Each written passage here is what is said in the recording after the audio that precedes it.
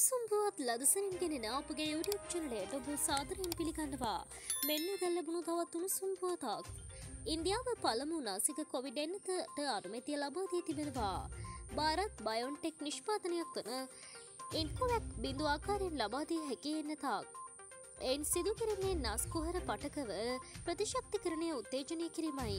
මීට පෙර පසුගිය වසරේ සැප්තැම්බර් මාසයේදී චීනය ආක්‍රමණය කළ හැකි කොවිඩ් එන්නතකට අනුමතිය ලබා දුන්නා.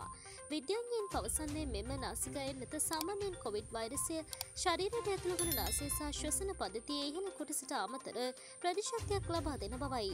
මේ අතර ඇමරිකා එක්සත් ජනපදය සහ එක්සත් රාජධානයේ පර්ේෂකයන්ද නාසික කොවිඩ් එනතක් සම්බන්ධයෙන් පර්ේෂණ සිදු කරමින් සිටිනවා.